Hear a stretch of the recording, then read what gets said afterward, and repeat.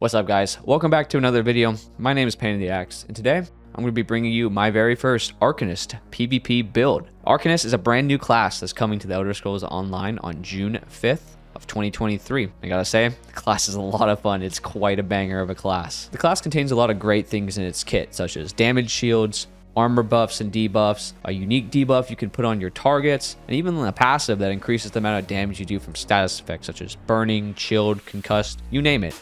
Plus, I gotta say, the class just looks visually fantastic. I love running around in my PvP environments, just laser beaming people from 100 HP to 0 HP. In fact, ladies and gentlemen, the title of today's build is going to be Laser Beam. Let's get right into it.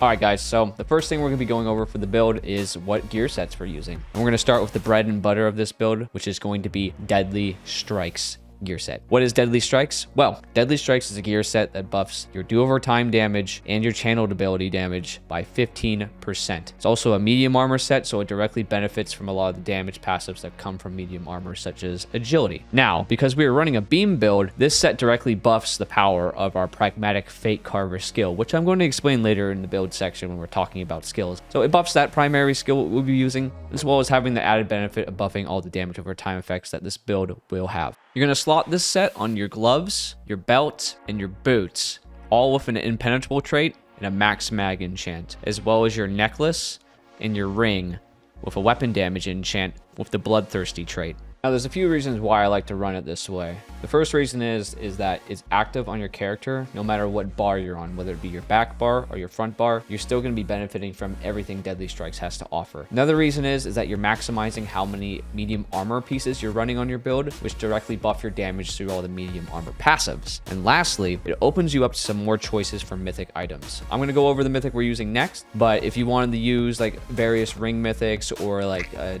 necklace mythic such as Sea Serpent's Coil, uh, you could do so as by interchanging some of your jewelry pieces out to accommodate that. All right, as promised, the next item we're going to be running on this build is going to be a mythic item that I actually haven't ran on any build in a quite a long time. It's going to be the Malacath's Band Brutality. Now, why are we running Malacath? Well, Malicast offers 16% damage to all kinds of damage you do, dots, direct, AoE, doesn't matter. It's a flat 16% extra damage you do while sacrificing 50% of your critical damage. Now, I see that this is worth it for this build because naturally this build has a very low crit rating of roughly about 16 to 17%. So chances are you're not going to be doing very many crits on this build. You can buff your critical rating with uh, one of the morphs of Rune Blades, but you do have to have three Crux on you at all times to keep that buff. And chances are if this build you're going to be spending your crux quite often on either your beam or another one of your damage shield skills that I'm going to get into later in the video. But that is why I'm justifying running Malacath on this build. It just really increases the damage of your beam and your dots and just everything you do. It makes the build just that much more powerful. So with all that being said, you're going to want to run Bloodthirsty as your trait for this ring, as well as a weapon damage increase glyph on this ring as well. All right, guys, up next, we're going to be talking about what weapons we're running. And the first front bar set we're going to be talking about is our Master's Dual Wield Maces. Now, Master's Wield is a gear set that buffs the damage of a skill that we're going to be used called Blood Craze. It's a morph of Twin Slashes by 1635 on the initial hit. The Perfected variant, it also is going to add a little bit of crit chance, which is kind of negligible since we're running Malacath anyway. Now, we're going to be slotting this on our front bar. For our main hand, we're going to have it with a Poison Enchant as Nirnhone for the trait, increase its weapon damage by 15%. And on our offhand, we're going to have a Disease Glyph in the Sharpen trait. So the reason why we're running maces as opposed to any other weapon type is because maces offer armor penetration per mace you have in your hand by 1650 making a grand total of 3,300 armor penetration. And why that is important because people in PvP generally like to run more on the tankier side. So this will help you burn through some of that resistance they have. All right, since we're talking about penetration and we happen to be playing a class that uses tentacles to put out damage, oddly enough, let's talk about our monster set, which is actually going to add even more penetration and damage and that set is called Balorgh's. Now, Balorgh's is a monster set that's going to give us more weapon and spell damage depending on how much ultimate we consume, as well as multiplying that ultimate by 23 to give us more spell and physical penetration. Now, what does that mean? Okay, so if you use 200 ultimate, you're going to gain 200 weapon and spell damage, or if you use 200 ultimate, you're also going to gain 4,600 spell, and physical penetration. a little bit of math goes into this one. Fortunately, the game does it for you. Just know the more ultimate you hold on to, the more damage you're going to do. So if you hit someone with a 500 ult cost of whatever ultimate you use, just know your damage is going to go way up and your penetration is also going to go way through the roof. It makes this set really good. All right, so since this is a monster set, we have to slot this on our head and shoulders. So for our shoulders, we're going to run it as a medium armor, a max mag enchant with impenetrable being the trait. And for the helmet, we're running it heavy with a prismatic enchant with max health, max stam, max magicka with the reinforced armor trait to further amplify its resistance value. Going back to our weapons, we're going to talk about our back bar weapon item set, which is going to be the Vateshran Perfected Ice Staff. Now, what does the Vateshran Ice Staff do? Well, I'm glad you asked. What happens is that when you use a skill called Elemental Susceptibility, which again, we're going to talk about later. Don't worry, we'll get, we'll get there, guys. Don't worry, we'll get there. What happens is when you use that, it's going to create a beam that goes from you to your target that does do-over time damage with flame, shock, and ice damage, which also has the possibility to proc other status effects, which are going to be increased with one of your passives in your class kit. Now, the reason why we're running an Ice Staff is because Destruction Staff has a passive called Ancient Knowledge. And Ancient Knowledge is when you're holding an Ice Staff, your block will cost 36% less, and you'll also gain 20% block mitigation. One other thing to keep in mind is that if you have Trifocus on, whenever you block, it's going to take your Magicka as your primary blocking stat as opposed to your Stamina. So if you don't mind that, you can keep it, but me personally, I don't like that, so I just take the Trifocus passive out completely. But again, if you don't mind having it, it, it's okay. Like, you can just manage your Magicka that way. One benefit for keeping it is that whenever you heavy attack with the Ice Staff, you'll gain a damage shield. So that's one positive we have for keeping it. Just personally, I'm not a big fan of it, so it's up to you to decide whether if you want that or not. Either way, it's okay. Now, for in terms of trait and glyph, we're going to run this with the defending trait on the back bar to further enhance our resistance value when we're in a defensive state. And we're also going to have a weapon and spell damage glyph to further boost our damage with light attacks on our back bar. All right, our last two armor pieces are going to be Cuirass of the Trainee on the chest plate and Druid's Braid Greaves on the legs. Both of them are going to be heavy armor with a prismatic enchant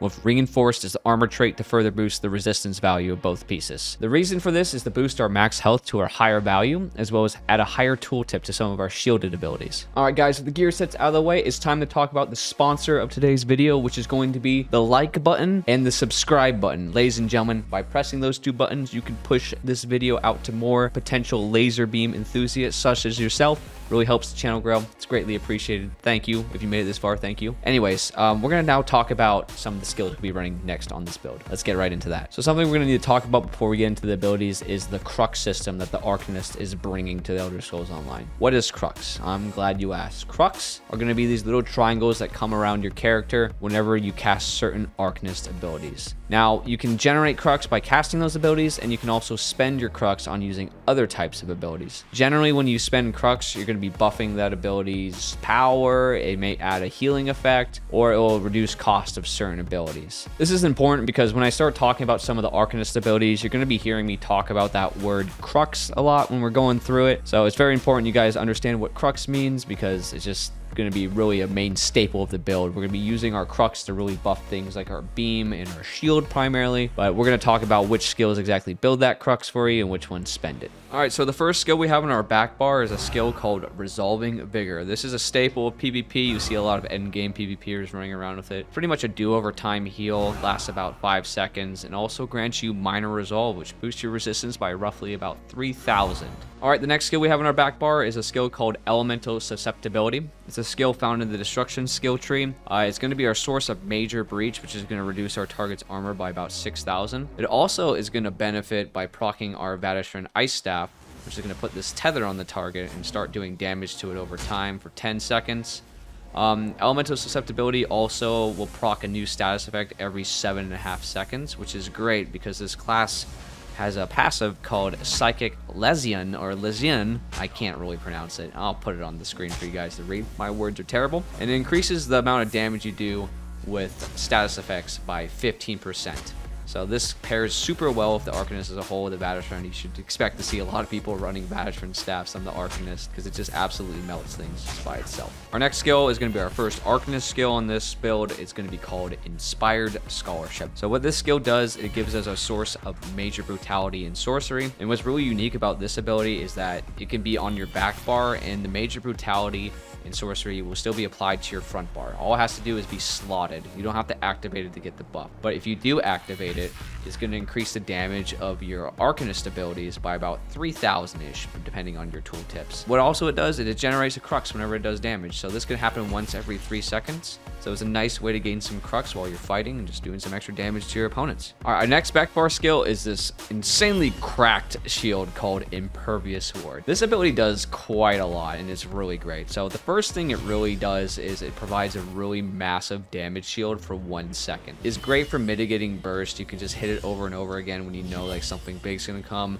you have this massive shield, but even if it doesn't hit you right away, you still have a shield afterwards to protect yourself. Something else it does is when you take initial damage right away, uh, the first hit you take will reflect damage back at your attacker, so it's good for putting some retaliatory damage back on the target. And it also is a crux consumer, so if you use this when you have three crux, not only will it grant you this massive shield, but it'll also heal you over time for a small amount of time. So it's a really great defensive skill. Like you're going to be spending your crux on this in very dire defensive needs.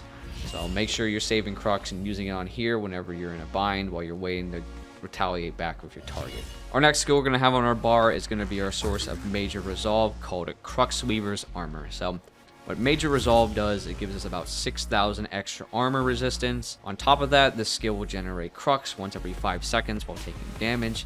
And also on top of that, it'll also apply minor breach to your targets while they're hitting you. So not only does this build now have major breach with elemental susceptibility, it also has minor breach with this skill. Also something else to add, whenever you cast this, um, you will get another armor buff from your Soldier of Apocrypha passives. It will get raised by about 2,000 extra, so just some added tankiness by running this ability. For our back bar ultimate, we're running the Tide King's Gaze. It's found out of the Herald of the Tome skill tree on your Arcanist line pretty much it's a giant eyeball that just you summon out and it shoots laser balls all over the place, follows your targets around, it does damage every half second. So you guys get to witness this poor Kwama worker looking having dude, whatever his name is, just die horribly. Mm, there it goes. Look how sexy that looks, bro. So freaking sexy, lad. Sit down, buddy. Moving on to our front bar skills, the very first one we're going to talk about is Cephaliarch's flail. So if you're a hentai lover, you're in luck because this skill is literally a giant tentacle that comes flying out of your arm that you get to whack people in the face with. I mean, what else could you ask for, really? Honestly, bro. This skill is going to pull from your stamina pool. Uh, has a 0.3 second cast time, so you do have to aim it. It can be a little bit tricky to land at first, but with some practice, you won't have a problem too much with it. Um, it's going to do some physical damage here. It also is an execute up to a modifier of 100%. So it's going to start doing some increased damage to lower HP targets. The most recent PTS rendition, it also now heals on impact. The heal is kind of small, like roughly I'm getting about 1.7k to 1.8k heals on average. So it's not anything huge, but it does help out quite a bit when fighting outnumbered. Uh, it also is going to apply this new effect called Abyssal Ink. And Abyssal Ink is a brand new debuff coming with this class that's going to increase the amount of damage your targets take by 5%. Keep in mind this damage is only applied to you. Your teammates won't be able to benefit from it, but still, it helps you out tremendously with this build. On top of all that, this ability is also an AoE Immobilize, which will lock people down for 3 seconds. And even if that wasn't enough, it also generates Crux to use on other abilities. It's a pretty packed skill overall. Next on our bar is going to be Escalating Rune Blades. So this skill is a single target ability that shoots three different projectiles at your target, and with that third one doing a little bit of AoE damage at the end. This is also going to be your easiest way for building Crux to use on other abilities such as your beam and uh, your shield, like right here. Up next, guys, is going to be our main stun, and this skill is called Rune of the Colorless Pool. So what this does is a range stun that you can throw on your target. It's going to put a little green aura around their face. It's kind of hard to distinguish when this is on you or not, especially for your target. So their CC break-free reaction may be a little bit slower, which is really good for you because then you have more time to just clown on them. On top of that, it also puts two minor debuffs on your target, one being minor vulnerability and one being minor brittle. Minor Bone increases the amount of damage they take just flat out, and Minor Brittle increases the amount of critical damage they can take. We are running Malacath on this build, so we don't really benefit so much from the Brittle, but we definitely benefit from that minor vulnerability. On top of that, they cannot roll dodge this stun, so it'll go through roll dodge, but they can block it. So one good technique I like to do is hit your target with your tentacle to immobilize them, so they'll bait the roll dodge and then fire up the hard stun and then start your beam, which is what we're going to talk about next. All right, ladies and gentlemen, for the main point of this build, we're going to be talking about pragmatic fate carver. This is your giant freaking laser beam, ladies and gentlemen. It looks really badass to use, and mechanically, it's extremely badass to use. So, what this does is that you channel this ability for 5 seconds, and every 0.3 seconds, it's going to do damage. This also gives you a damage shield that is for as long as it persists, you cannot be interrupted while casting. So they're to have to burn through that shield before they can stop you from casting this ability. It also is a crux consumer. So if you even just spend one crux on it, it's to increase the damage it does by 33%. If you decide to spend all three crux on this ability, it's to reduce the cost by 16% per crux spent. So, in case you're not paying attention, the whole point of this build is buffing the damage of this giant laser beam, ladies and gentlemen. Let's break it down for you guys. Deadly Strikes. 15% damage to channeled abilities. Malacath's Ring of Brutality, 16% damage to all abilities. You have your Cephaliarch's Flail, the little tentacle thing we talked about, puts Abyssal of Ink on your target, 5% extra damage to those targets. You have your Hard Stun that puts a minor vulnerability on your target, another 5%. Spending one Crux on your beam is going to increase it by 33%. I'm not very good at math. I mean, the most I've ever done in high school was freaking geometry, man. You know, I, this this is hard for me, okay? This is very difficult. But if my calculations are correct, it should be 74% extra damage to your laser beam just from those things alone. This isn't taken into effect your weapon damage or any other like armor debuffs you throw on your target from Ele Drain. That's just from that damage alone. It's quite insane. But we do have two more skills we need to go over on our front bar, so let's get right back into that. All right, next, guys, we're going to talk about a skill called Blood Craze. It's on the dual wield skill line, and this is why we're running Master's dual wield. When we hit it, it's going to be uh, doing a little bit of two strikes right there, and Master dual wield is going to buff the damage of those two initial strikes. Following that, it's going to leave a pretty nasty bleed dot over time. It lasts about 20 seconds. So that's going to have a chance to procking Hemorrhaging status effect, which we also benefit from from the Arcanist, because again, we have that passive that buffs all damage to status effects. And Blood Craze also has the added benefit of healing us every time it does damage. So it adds a nice do over time heal that we can directly benefit by just putting out pressure.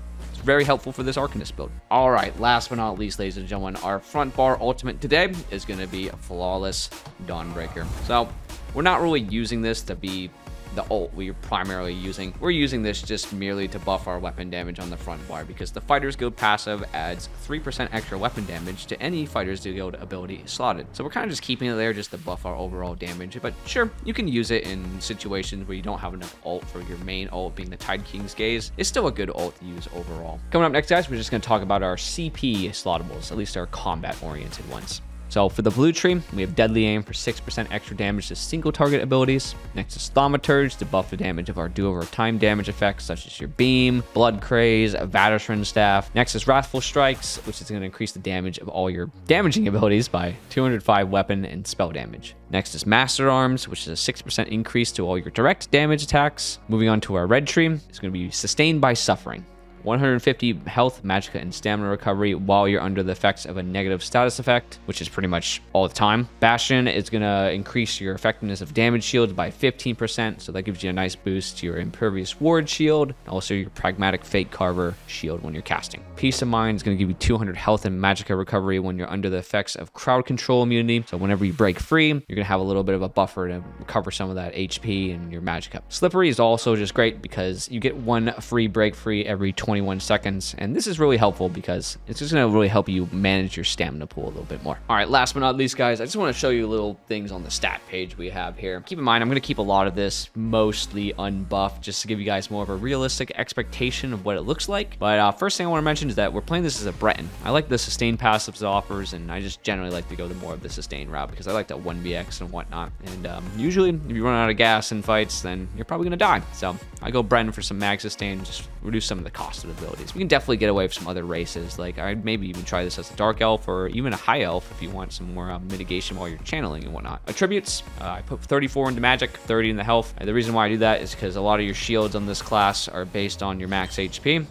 So the higher health you have, the stronger that is. Um, we hover around a front bar base weapon to spell damage about like 5k roughly or so, just a little bit short of 5k. And that is because Major Sorcery and Brutality will always be on with this build because of the Inspired Scholarship. It doesn't matter if it's on your back bar or your front bar, you will still have that Major Brutality in sorcery. Some of the defensive stats, like I'm just going to quickly put on major resolve and minor resolve with vigor. Uh, it looks like you get 29.5k physical and 31.8k spell. It's a pretty hefty amount of resistance. Keeps you very tanky. Again, that's why we run our three heavy, four medium setup to kind of maximize the value of our tankiness and damage with four pieces of medium. And the last two things we're going to talk about here are the Mundus we're running, which is the Atronach it's about 310 Magicka recovery when you have it on. And the food we're running, we're running smoked bear haunch or, or Zorga's smoked bear haunch. And this food's great just all around for most PvP builds. You'll see everybody usually running this. Gives you uh, 3,600 health and it boosts your health recovery by 346, your stamina and magic recovery by 315. Well, guys, I think that covers everything to do with this build. I'm really excited for to launch on June 5th. And hey, if it is June 5th right now, you should go click my Twitch link down below in the description. You know, we stream there quite often. And hey, we're going to be doing this build on day one of Necrom on June 5th. You know, come and ask questions. Go and type a goose lets you know that you came from YouTube or actually typing goose won't tell me that. People, we just type goose all the time for no reason. There's really no rhyme or reason to it. It's just fun. How about we just say, hi, I'm Bob from the YouTube, man. I'll be like, yo, what up, Bob from the YouTube? But anyways, guys, that's besides the point. Thank you again for watching this video. Uh, we're going to play a little bit of Battleground footage we did on the PTS. You actually get to see this build in action. But again, if you enjoyed today's video, make sure to drop a like and subscribe, and I will see you all in the next one. Peace, guys. Have a wonderful rest of your day.